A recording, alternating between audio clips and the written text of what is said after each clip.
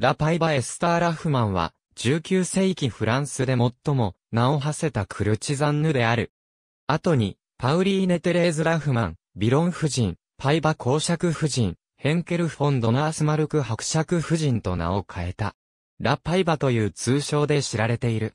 エスターは、モスクワのゲットーに疎開していた、ポーランド系ユダヤ人のマーティン・ラフマンと、アンナ・アメリー・クラインの間に生まれた。1836年8月11日、17歳で、彼女は、仕立て屋のアントン・ビロンと結婚した。彼らは息子を一人設けたが、エスターは結婚生活を捨てて、パリのサンポール寺院にほど近いスラム街に移住し、名をテレーズと変えて、裕福な求婚者を見つけようとした。彼女は、ピアニストのアンリエルツと出会って愛人になり、芸術的ではあるが、貴族的ではない階級に加わった。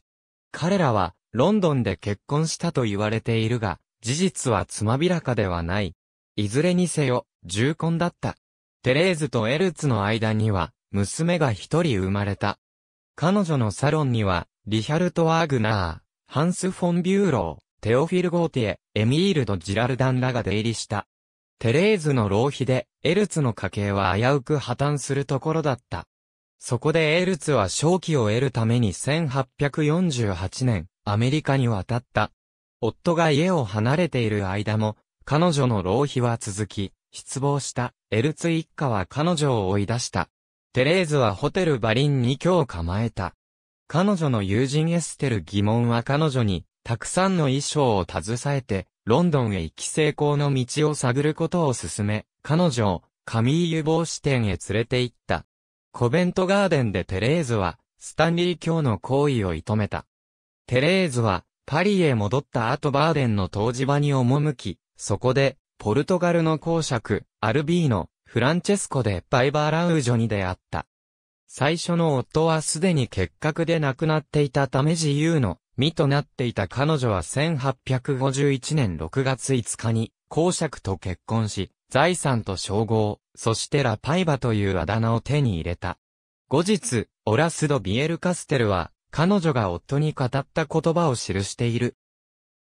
あなたは、私と寝たかったから、私を妻にすることでそれを叶えたのよね。あなたは私に加盟を与え、私は、昨日の夜で義務から解放された。私は、正直な女性のように振る舞ってきた。私は、地位が欲しくて、それを手に入れたわ。でもあなたが所有しているのは、妻という娼婦なの。あなたは私をどこにも連れて行けいないし、誰にも紹介できないわよね。だったら、別れましょう。ポルトガルに帰ってちょうだい。私はここに残って、あなたの名前で娼婦を続けるから公爵は本当に、彼女を残して、ポルトガルに帰国してしまった。結婚は1871年8月16日まで解消されなかった。そして公爵は1872年に拳銃自殺した。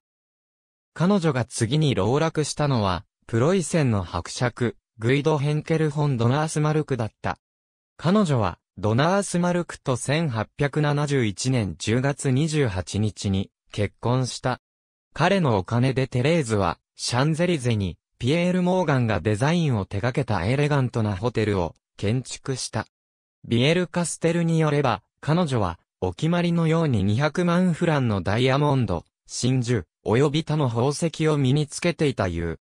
ホテルパイバは、第二帝政の象徴となり、統制風の見本となった。テレーズとドナースマルクはスパイ活動の容疑で、フランスから追放されることとなった。彼女は、ノイベックにある居城で1884年1月21日に65歳で亡くなった。